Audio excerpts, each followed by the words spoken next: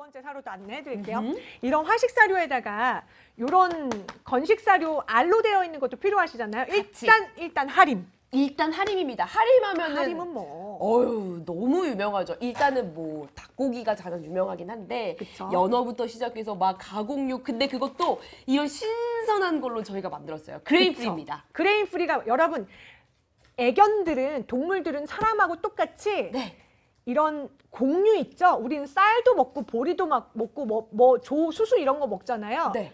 애들은 그런 곡류를 잘 못 받아들여요. 맞아요. 태어나기를 그렇게 태어났어요. 음. 얘네는 육식 동물이에요. 강아지가 늑대의 후예인 건 아시죠? 그렇죠. 원래 육식 동물이에요. 그래서 곡류를 잘 못 받아들여요. 그래서 여러분들이 선택하셔야 되는 게 grain free, gluten free를 정말 많이 보셔야 돼요. 음흠. 단지 먹이려고가 아니라 얘네 건강을 위해서예요. 강아지들 귀를 이렇게 해요. 눈이 자꾸 눈물, 발바닥 자꾸 빨아요. 피부 먼저 생각하지 마시고 얘 보세요. 얘, 이 뭐냐면 기관지 협착증이 있어서 기침을 이렇게 해요. 기관지도 늙었어요. 음. 16살이라서 기관지도 늙어서 기침하고 애기였을 때 많지 않아요. 체력이. 이런데 오늘 한 번 왔다 가잖아요. 집에서 한 이틀 기절해서 잔단 말이에요.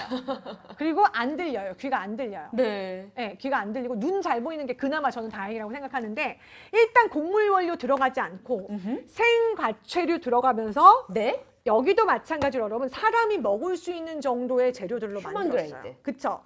방부제나 여러 가지 뭐, 뭐 안 넣었어요. 무서운 것들. 네. 그리고 생연어 들어가고요. 블루베리, 눈 건강, 연어, 비타민, 케일, 로즈마리, 렌틸콩, 병아리콩까지 해서 맞습니다. 뭐야 사람 사람 먹는 시리얼이에요? 아니요 이거 우리 강아지들 사료인데 이렇게 만들었어요. 고객님들 근데 저는 음. 너무 좋은 게 뭐냐면 음?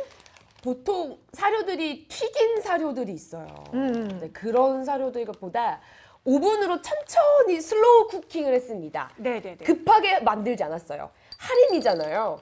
얼마나 그 만들 수 있는 물론 튀겨서 많이 많이 만들 수 있는 공정 시스템이 다 갖춰져 있는 곳임에도 불구하고 우리 애기들의 건강 생각하면서 천천히 오븐으로 구워냈거든요. 그래서 이렇게 손으로 한번 만져보시면 기름기가 손에 안 남아요, 고객님. 그거 되게 중요해요. 이거 정말 중요하더라고요. 음. 그리고 여러분 보세요. 네. 사료를 이게 딱딱한 사료지만 제가 손으로 이렇게 잡고 부시면 음. 얘가 부셔져요. 아니야, 막 어. 아니야, 아니야. 코코 아니야.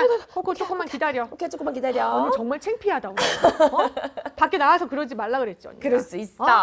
밖에 나오면 좀 지조를 지키고 좀 얌전하란 말이야. 이거 보세요. 사료 온전한 한 알인데 음. 온전한 한 알인데 보세요. 이 한 알이 손으로 만지면 약간 이렇게 부셔져요. 어.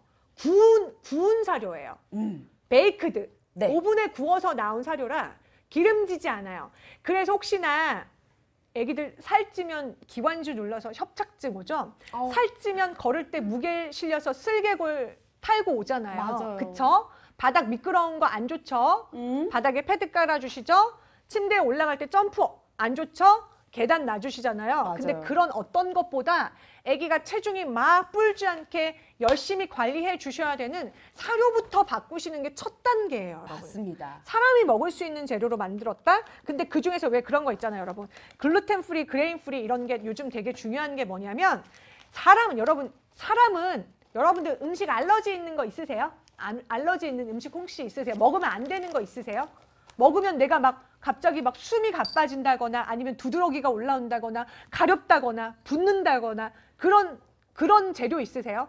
강아지들도 있어요. 맞아요. 특히나 안 되는 거 초콜릿, 양파, 포도 안 되죠? 그쵸? 그리고 gluten free, grain free 먹이는 게 좋아요. 근데 얘네는 맛만 있잖아. 그냥 주구장창 입에 넣어요. 맞아요. 어, 먹었는데 음. 어, 뭔가 이상해. 안 먹어야지가 안 되는 애들이에요.